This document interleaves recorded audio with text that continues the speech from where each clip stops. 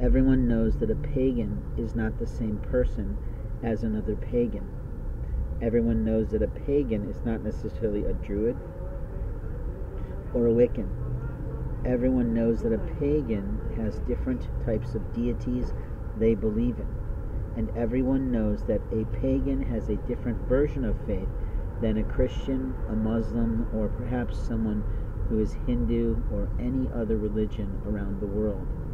A pagan accepts that there are many ways to God, and a pagan is a person who can honor Christian ways as long as his ways are still honored, or does a pagan honor them anyway?